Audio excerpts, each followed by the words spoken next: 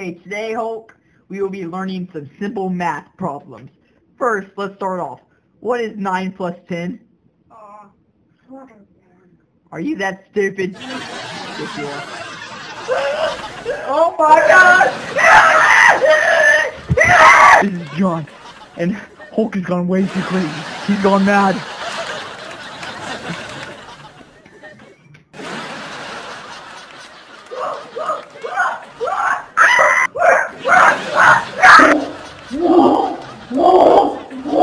And he's gone crazy. He's gone mad. Pookie poo. Pookie poo.